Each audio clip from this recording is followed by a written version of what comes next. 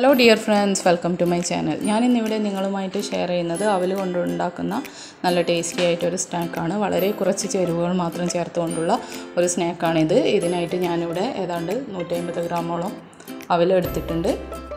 സാധാരണ മട്ടയരിയുടെ അവലാണ് എടുത്തിട്ടുള്ളത്.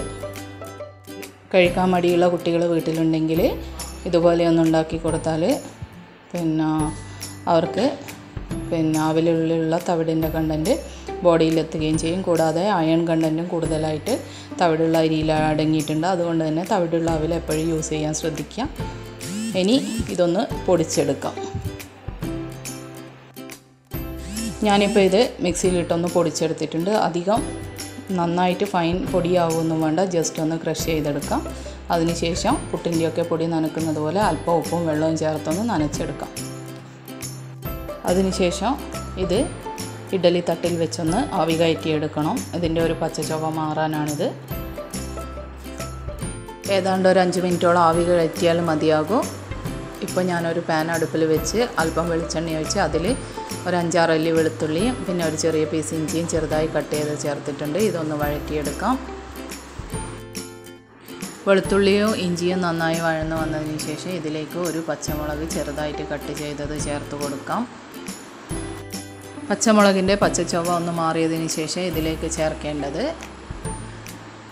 വലിയുള്ളിയാണ്. ഒരു വലിയുള്ളി ചെറുതായിട്ട് കട്ട് ചെയ്തത് ഞാൻ ഇതിലേക്ക് ചേർക്കുന്നുണ്ട്.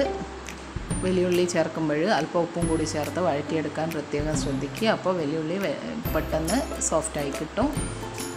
വലിയുള്ളി നന്നായിട്ടൊന്ന് വഴറ്റിയെടുക്കുക. വലിയുള്ളി ഒരു ട്രാൻസ്പെറന്റ് കളറാകുന്നത് വരെ വഴറ്റിയെടുത്തതിന് ശേഷം ഇതിലേക്ക് തക്കാളി ചേർക്കാവുന്നതാണ്. ഒരു വലിയ തക്കാളിയാണ് ഇവിടെ ചേർക്കുന്നത്. തക്കാളി ചേർത്ത് ഈ ചേരുവകളെല്ലാം നന്നായി വഴറ്റിയെടുക്കുക.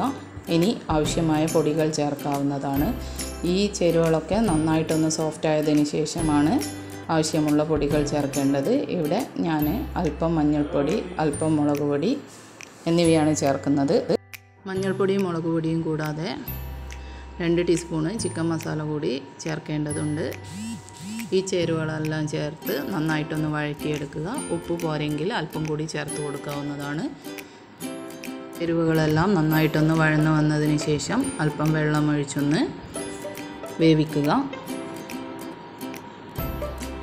ഈ മസാലകളുടെയൊക്കെ പച്ചമണം ഒന്നുകൂടി നന്നായിട്ട് മാറാനാണിത്. ഈ മസാലകളൊക്കെ നന്നായിട്ടൊന്ന് തിളച്ച് വന്നാൽ നേരത്തെ ആവി കയറ്റി വെച്ചിരിക്കുന്ന അവിൽ ഇതിലേക്ക് ചേർക്കാം. അവിൽ ഇതിലേക്ക് ചേർത്തതിന് ശേഷം നന്നായിട്ട് മിക്സ് ചെയ്ത് കൊടുക്കുക. കട്ടയില്ലാതെ ഒന്ന് ഇളക്കി കൊടുക്കണം. ഇത് നന്നായി ഇളക്കി മിക്സ് ചെയ്തതിന് ശേഷം രണ്ട് കോഴിമുട്ട ഇതിലേക്ക് പൊട്ടിച്ചൊഴിക്കാവുന്നതാണ്. അതിന്റെ ഈ മസാലയുടെ മിഡിലിൽ ഒരു സ്പേസ് ഉണ്ടാക്കി അവിടെ ഒന്ന് പൊട്ടിച്ചൊഴിച്ച് അതൊന്ന് ഉറച്ചു വന്നതിന് ശേഷം മാത്രം ഇളക്കി കൊടുക്കുക. അല്പം ഉപ്പ് കൂടി മുട്ട പൊട്ടിച്ചൊഴിക്കുന്ന സമയത്ത് ചേർക്കേണ്ടതാണ്. അതൊന്ന് ഉറച്ച് വന്നതിന് ശേഷമാണ് ഇളക്കി കൊടുക്കേണ്ടത്. അതിനുശേഷം ഈ മസാലകളൊക്കെ കൂടി നന്നായിട്ടൊന്ന് മിക്സ് ചെയ്യാവുന്നതാണ്. മുട്ട ചേർത്തതിന് ശേഷം നന്നായിട്ട് ഇളക്കി ഒന്ന് മിക്സ് ചെയ്യുക. ഈ അവൽ ചേർത്ത മസാലയും പിന്നെ മുട്ടയും ഒക്കെ ചേർത്ത് ഒന്ന് നന്നായി ചിക്കി ഇളക്കിയെടുക്കുക പിന്നെ അവിൽ കൊണ്ട് മസാല ഉണ്ടാക്കുമ്പോൾ വെള്ളം കൂടി പോവാതിരിക്കാൻ പ്രത്യേകം ശ്രദ്ധിക്കുക. ഇപ്പോൾ നല്ല ടേസ്റ്റിയായ അവിലിനെ കൊണ്ടുള്ള മസാലയൊക്കെ ചേർത്തിട്ടുള്ള വിഭവം തയ്യാറായിരിക്കുകയാണ്.